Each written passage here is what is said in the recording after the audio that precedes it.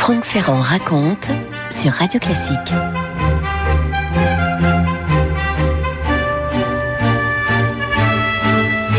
Dimanche 13 juillet 1930, nous sommes à Montevideo, donc en Uruguay. Montevideo a été fondée par les Espagnols euh, environ deux siècles plus tôt et la ville, depuis 1828, est la capitale de ce petit État. Petit État du sud-ouest de l'Amérique latine, hein, bordé par euh, l'océan Atlantique avec euh, pour voisins le Brésil et l'Argentine. À cette période de l'année, on est dans l'hémisphère sud, on est en juillet, donc c'est la saison hivernale. Il tombe d'ailleurs quelques flocons de neige sur Montevideo. En début d'après-midi, dans deux des stades de la ville, l'Estadio Pocitos et l'Estadio Gran Parque Central, l'ambiance est festive, même si les spectateurs sont un peu frigorifiés, il faut bien le dire.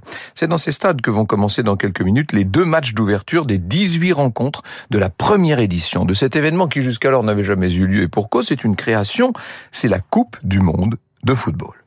Alors au grand parc central, si je puis dire, qui peut qui peut accueillir 20 000 spectateurs, les États-Unis reçoivent la Belgique et pendant ce temps, donc à quelques kilomètres de là, au Positos, une petite enceinte qui elle ne fait que 5000 places. Deux équipes euh, sortent du tunnel euh, sous les acclamations de plus de 4000 spectateurs, l'équipe du Mexique et l'équipe de France. Devant les photographes et les officiels, les joueurs français sourient. Ils ont quand même l'air un peu crispés, comme leur capitaine d'ailleurs, Alexandre Villaplane, qui se dirige vers le rond central et qui échange un bouquet de fleurs avec le capitaine mexicain. Et puis, les Français retirent leur pull blanc, frappé d'un coq. ils étaient quand même en pull tellement il fait froid, hein, vous voyez un peu l'ambiance.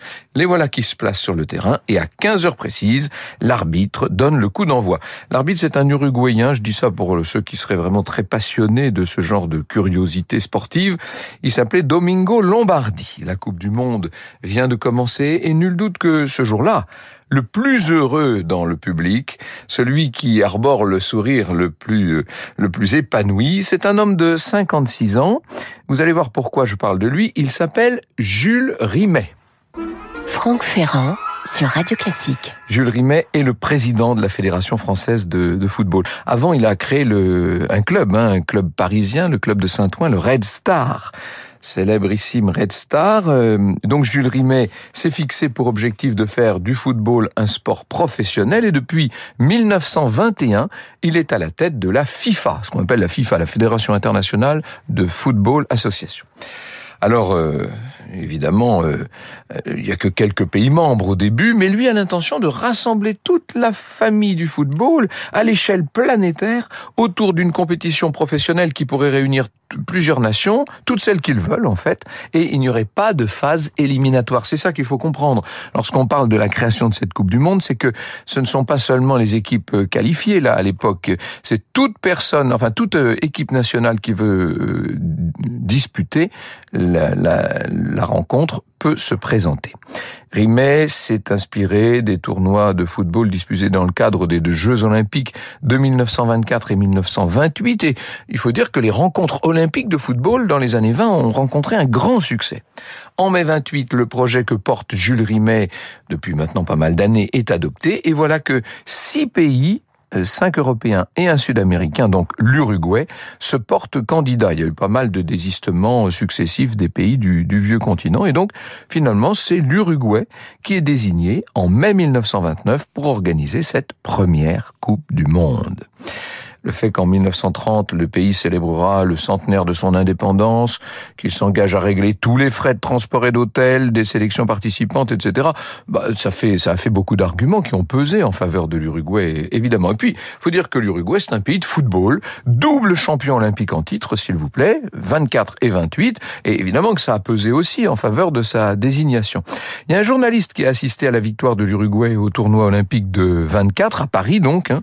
Le journaliste en question, vous le connaissez, connaissez, c'est un grand écrivain, c'est Henri de Monterland. Voilà ce qu'il dit, Monterland. Nous avons ici le vrai football. En comparaison avec celui-ci, celui que nous connaissions avant, celui que nous jouions, n'était rien d'autre qu'un jeu de cours d'école. Mais jusqu'au coup d'envoi, qui donc est prévu le 13 juillet 1930, la tenue de la Coupe du Monde euh, a posé question. On n'était pas certain que ça se ferait. D'abord, il y a eu ce crack boursier en octobre 29 qui a dissuadé beaucoup de nations de participer à une compétition qui quand même était coûteuse, ne serait-ce que par le voyage en bateau pour rejoindre l'Uruguay. Hein. Vous imaginez, pour traverser depuis le depuis l'Europe, c'est deux semaines de navire à l'époque. Et euh, pour cette euh, pour cette euh, raison, deux mois avant le dépôt officiel de la liste des participants, il n'y a aucun pays européen qui ne s'était encore inscrit. Il a fallu que Jules Rimet en personne aille convaincre un certain nombre de sélections de participer à ce qu'il avait lui-même créé. Finalement, 13 pays vont participer, ça fait pas beaucoup, hein. 13 pays participent à cette première Coupe du Monde, 9 qui viennent du continent américain, États-Unis, Mexique, Argentine, Bolivie, Brésil, Chili, Paraguay, Pérou, et puis bien sûr euh, le pays hôte, l'Uruguay, et uniquement 4 pays européens, alors ça, ça pourrait faire l'objet d'une belle question, hein. quels pays européens ont participé à la première Coupe du Monde de football? La France et la Belgique, ça je pense que beaucoup de gens le savent, mais aussi la Roumanie et la Yougoslavie. Euh, l'équipe roumaine d'ailleurs est partie d'Italie sur le Conte Verde, paquebot, le Conte Verde, hein. et euh, elle a été rejointe à Villefranche-sur-Mer le 21 juin 1930 par Jules Rimet, sa fille, et l'équipe de France, 16 joueurs si vous comptez les remplaçants, un entraîneur, Raoul Caudron, et puis tout le staff, les soigneurs, les masseurs, etc. Cinq représentants euh, du Racing Club de Paris en font l'équipe la mieux représentée au sein de la sélection française. Moyenne d'âge 23 ans, pas beaucoup d'expérience internationale. Certains des joueurs, pour tout vous dire, ne sont même pas des professionnels. Hein. Ils exercent un, un emploi dans la vie civile, si je puis dire. Alors le lendemain, 22 juin, à Barcelone, la sélection belge, à son tour, est montée à bord du Conte Verde, et après plusieurs escales et l'embarquement de l'équipe brésilienne, le paquebot est arrivé à Montevideo le 4 juillet, c'est-à-dire neuf jours seulement avant le début du, tournoi. Il y avait beaucoup de monde sur le quai pour accueillir tous ces joueurs qui arrivaient en grande partie d'Europe et pour certains du Brésil, 10 000 Uruguayens. Les Yougoslaves de leur côté ont fait le voyage à bord d'un bateau à vapeur un peu plus long et ils arrivent euh, quelques jours après, du tirage au sort des quatre poules en lice, une avec quatre équipes et les autres avec trois. La France va jouer contre l'Argentine, le Mexique, le Chili. Dans le groupe 2, vous avez Brésil, Yougoslavie, euh, Bolivie. Le, le groupe 3, Uruguay, Roumanie, Pérou. Et puis enfin, États-Unis, Belgique et Paraguay. Bref, tout a l'air prêt. Enfin, ou presque, parce que quand même, à cinq jours du début de la Coupe du Monde, le stade Centenario, qui avait été construit spécialement pour le tournoi, qui pouvait accueillir jusqu'à 90 000 spectateurs, le stade a été euh, déclaré impraticable en raison des pluies qui ont retardé la fin des travaux. Bref, euh, l'Uruguay va donc, euh, qui devait inaugurer ce grand stade en match d'ouverture, bien sûr, l'Uruguay va devoir attendre quelques jours et les rencontres États-Unis-Belgique et France-Mexique vont pouvoir ouvrir le bal dans les autres stades le 13 juillet 1930. Un autre de mes collaborateurs, Christophe Dard, aime bien le football. C'est lui qui euh, a concocté l'émission euh, de ce matin. Il nous raconte la toute première euh, rencontre. Donc France-Mexique, on est le 13 juillet 1930. À la 19e minute, dit-il, le joueur français Lucien Laurent, sur une belle reprise de volée, ouvre le score pour la plus grande joie notamment de Jules Rimet et de sa fille qui sont toujours là présents en tribune. Le joueur du FC Sochaux, également ouvrier chez Peugeot, devient le premier buteur de toute l'histoire de la Coupe du Monde. Euh, plus tard, le fameux Lucien Laurent, il dira, quand j'ai marqué ce but, j'ai eu une joie simple, celle d'un buteur normal avec ses coéquipiers. On a dû tout juste s'embrasser ou se taper dans la main avant de reprendre le jeu. Sur le coup, je ne me suis même pas posé la question de savoir si c'était le premier but mondial. Euh, je n'ai pas réalisé. Avant la demi-heure de jeu, le gardien de but français va se blesser et à l'époque, euh, il n'est pas possible d'effectuer des, des remplacements euh, euh, des, des, remplacements en cours de match comme ça. Donc un joueur de, de champ va prendre la place du gardien de but, euh, ce qui n'empêche pas l'équipe de France de battre l'équipe du Mexique. Ils étaient que 10 les Français sur le terrain à ce moment-là. Hein. Et ils ont battu le Mexique 4 à 1. Et deux jours plus tard, les joueurs de Caudron vont, de Caudron, pardon, l'entraîneur, vont affronter le favori euh, du groupe qui est l'Argentine. L'Argentine qui a préparé ce, cette épreuve mondiale en toute décontraction. Le joueur argentin Varallo dira plus tard, c'était le joueur le plus expérimenté qui composait le 11 de départ. Le joueur de mon premier match contre la, le jour de mon premier match contre la France, j'ai demandé au capitaine Ferreira le style de jeu à adopter. Il m'a dit, oh, joue comme tu sais le faire, hein, fais ce que tu veux. Notre coach nous rabâchait juste, surtout ne mangez pas de sandwich au salami avant les matchs. Vous voyez un petit peu l'ambiance générale. Ah oui, c'était une autre époque, qu'est-ce que vous voulez. La France tient tête euh, à cette euh, équipe euh, d'Argentine, mais à 9 minutes de la fin, quand même, les Bleus, on peut déjà les appeler comme ça, c'est bien la couleur de leur maillot, sont menés 1 à 0. Alors, ils vont jeter toute leur force dans leur bataille, ils reviennent au score, et il reste du temps lorsque l'arbitre de la rencontre décide de siffler la fin. À 4 minutes de la fin du match, les joueurs français et les spectateurs sont furieux, certains envahissent le terrain, bref, il va falloir que la police uruguayenne intervienne, vous imaginez.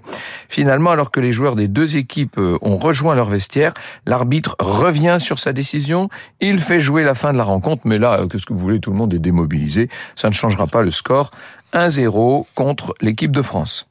Le 19 juillet, la France doit impérativement gagner son troisième match contre le Chili, sinon elle va se faire euh, éliminer. C'est le seul moyen de se qualifier pour la demi-finale.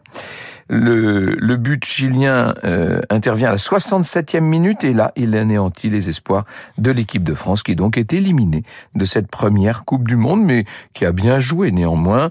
L'histoire retiendra euh, que ce match contre le Chili s'est joué seulement devant 2000 spectateurs. Hein. C'est l'affluence la, plus faible de toute l'histoire de la Coupe du Monde de football. Euh, c'est presque, c'est presque un score euh, pour ce qui est du public de rencontres de championnat amateur. Alors, dans la poule 4, les États-Unis qui sont favoris de leur groupe vont terminer premier. La Yougoslavie euh, va faire sensation dans la poule numéro 2 puisqu'elle n'était pas tête de série, elle a battu le, Brésil, elle se classe première euh, après sa victoire contre la Bolivie.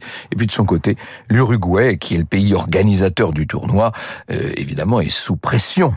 D'ailleurs, la préparation de l'équipe s'est faite dans un camp d'entraînement avec une discipline extrêmement stricte, à tel point que le gardien de but de la Céleste a été exclu du groupe pour avoir enfreint le couvre-feu et, et accepté la visite de son épouse. Enfin, je crois qu'il a rencontré son épouse en dehors du camp en question. Bref, l'Uruguay entre dans la compétition le 18 juillet face au Pérou.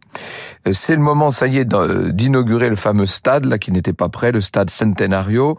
Le match est précédé d'une cérémonie qui marque justement le centenaire de la première constitution de l'Uruguay en 1830.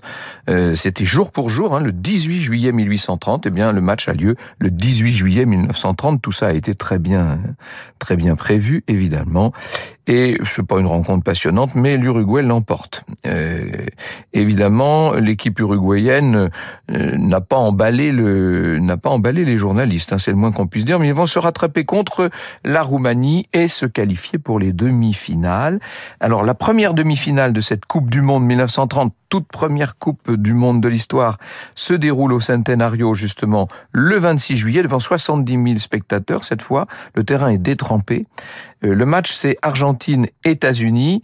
Euh, finalement, c'est l'Argentine qui se qui se qualifie et qui va en finale. Et le lendemain, toujours au Centenario, et à la même heure, il y a 80 000 spectateurs pour la rencontre Uruguay, Yougoslavie. Et les Yougoslaves se débrouillent très bien puisque dès la quatrième minute, ils commencent par marquer un but.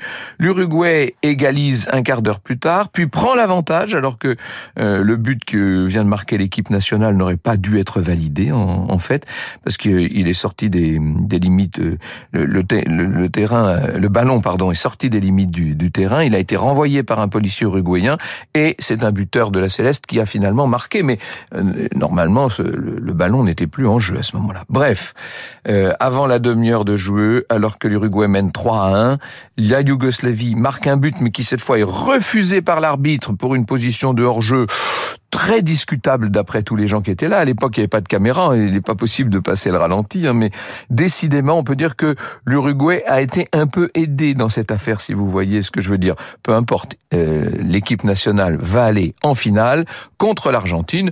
Bon, ben, Argentine-Uruguay, de toute façon, c'était le match de finale tel qu'il avait été prévu. C'était les deux favoris de la compétition, et c'est bien le match qui va décider euh, de, du vainqueur de cette première Coupe du Monde de football. Franck Ferrand sur Radio Classique. Imaginez euh, l'angoisse de l'arbitre belge qui va devoir arbitrer donc ce match Argentine-Uruguay alors que tous les spectateurs uruguayens sont là. Euh, il y a énormément de monde dans les tribunes, bien entendu. Il a demandé que sa sécurité soit assurée, l'arbitre. Hein. Il y a même une de ses requêtes qui est que un bateau soit prêt à partir une heure après la fin du match dans le cas où il devrait quitter le pays un peu plus rapidement que prévu. Avant le début du match, l'arbitre a été sollicité déjà pour régler un différend avec les équipes d'Argentine et d'Uruguay parce que chacune veut jouer avec son propre ballon et pour trouver une solution, ben, l'arbitre est entré sur le terrain avec un ballon sous chaque bras et on a tiré à pile ou face. Et c'est le ballon argentin qui a été utilisé en première mi-temps, le ballon uruguayen en deuxième mi-temps. Ce différent réglé, les deux équipes entrent sur une pelouse de piètre qualité. L'Uruguay est en bleu ciel, l'Argentine en rayures ciel et blanc. Vous pouvez les imaginer là qui déjà se battent avec euh, la rage au ventre, bien entendu. Les deux équipes jouent avec cinq attaquants. Le coup d'envoi est donné à 15h30. Franck Ferrand sur Radio Classique. Et il y a pas mal d'occasions. L'Uruguay ouvre le score dès la douzième minute de jeu. Euh, frappe euh, croisée, poteau rentrant pour les spécialistes euh, qu'on doit à l'ailier droit Pablo Dorado. Les Argentins égalisent huit minutes plus tard. Ils prennent l'avantage avant la mi-temps. Euh, on peut dire que ça devient compliqué. Hein. À la pause, l'Argentine mène 2 à 1. Et en deuxième période, l'Argentine est près du 3-1, sauf que l'Uruguay égalise avant l'heure de jeu. Je, je, cite le joueur Varalo, toujours, hein, cet Argentin qui se rappellera en 2005, 75 ans après la finale, voilà ce qu'il dit. En seconde période, les Uruguayens ont commencé à jouer très dur. Je me souviens que celui qui me marquait n'arrêtait pas de me dire « je vais, te tuer ». On a eu deux blessés et on a terminé le match à neuf puisqu'à l'époque il n'y avait pas de remplaçant.